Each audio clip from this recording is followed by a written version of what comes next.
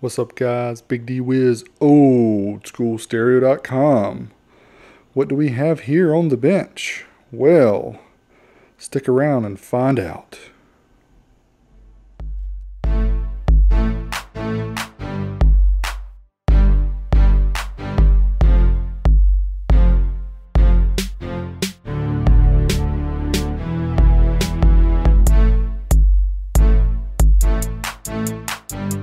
Here we have some resistors. These are power resistors, and these are what we use to test the amplifier's output. Now, as you can see, we have 24 resistors here. I've got them bunched together in fours because each one is 16 ohms at 120 watts. So each of these is going to represent a 4 ohm load at 480 watts. Now you might say, why do I have kind of an odd number here? Well, I have eight of them in here also. So what we're going to be able to do is we're going to have the ability to do four channel amplifiers at two ohm loads because we're going to be able to use um, two sets of these for one one set of channels. So we're going to be able to do two ohms. Each one of these, like I said, four ohms. So, so parallel two together and you have two ohms. And also what we're going to have the ability to do is parallel all 32 together.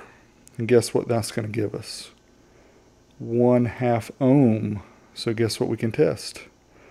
Lanzar Opti 50C and US amps. VLX 50. Now that's what I'm talking about.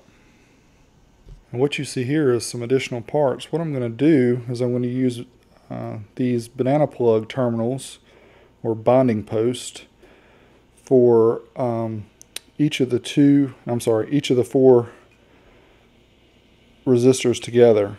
So I'm going to have, um, actually take that back, I'm just going to have one of these per four resistors. And what I can do, what I'm thinking of doing is using a computer um, tower, like a gamer's tower where I can put fans on the intake and the exhaust so that I can keep these resistors cool during high power testing. Now, a little bit of math says 120 watts times 32 is 3,840 watts capable total. That's insane, at least for the amps I test. I know some of the amps today are 5K, 7K, 15K, whatever. I don't have the capability of testing amps that big with my power supplies, so with the power supply capacity I have, this is plenty. What I'm also planning on doing is I'm going to give you guys a step-by-step -step walkthrough of how I solder these all together and make them ready for the resistor bank. So that'll be a future video coming up. So make sure you subscribe to my channel and stay tuned. Give you guys a little DIY from Big D. All right, real quick before I end the video, I just want to show you, have uh, four of them paralleled together. And as you can remember, when I touch the two ends of my cheap uh, multimeter here, I get 0.4 ohms. So that's going to be exactly 4 ohms, which is perfect. Each of these loads will be 4 ohms. So Guys, I'm getting excited about this. Amplifier tests are coming up. It's finally starting to cool down a little bit here in the labs. We're not climate controlled, un unfortunately.